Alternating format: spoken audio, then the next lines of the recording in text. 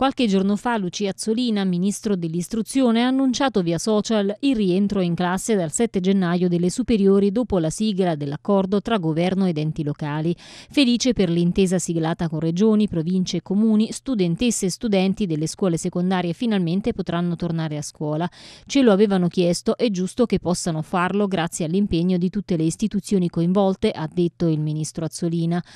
In occasione del Vaccine Day all'ospedale Cotugno di Napoli, intanto il presidente della regione Campania, Vincenzo De Luca, ha ribadito che qualsiasi ipotesi di riapertura sarà valutata in base ai dati epidemiologici di inizio 2021. Sento che si parla della riapertura dell'anno scolastico il 7 gennaio, questa è una delle cose che mi fanno impazzire in questo paese, fissare le date a prescindere, sottolinea il governatore. Ma come si fa a dire apriamo il 7 senza aver verificato il 3, il 4, il 5 qual è la situazione epidemiologica? Logica, allora diciamo ai nostri concittadini tendenzialmente, ipoteticamente, si può valutare. Credo che in campagna non apriremo tutto il 7, anzi sicuramente non apriremo tutto il 7. Valuteremo con grandissima attenzione, ha aggiunto, e in ogni caso l'idea di mandare a scuola il 50% è un'idea che la campagna non condivide. Cominceremo a valutare un passo alla volta anche il rientro a scuola delle ragazze e dei ragazzi, ma sicuramente non in blocco al 50%.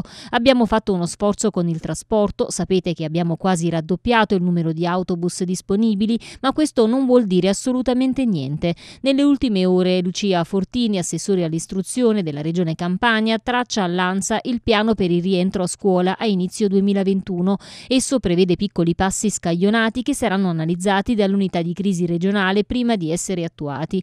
Il 7 gennaio, afferma, riprenderemo con le prime e le seconde elementari, poi valuteremo la curva dei contagi, ricominceremo lo screening dei degli alunni e avvieremo una riapertura graduale. È un percorso condiviso, spiega Fortini, anche con le parti sociali e infatti mercoledì ho una riunione con i sindacati per fare il punto prima della riunione con l'unità di crisi nei primi giorni dell'anno nuovo. Porterò un mio percorso che prevede dall'11 gennaio la riapertura di tutte le classi della scuola primaria, poi dal lunedì successivo, il 18 gennaio, tutte e tre le classi della secondaria di primo grado e dal lunedì 25 la secondaria di secondo grado.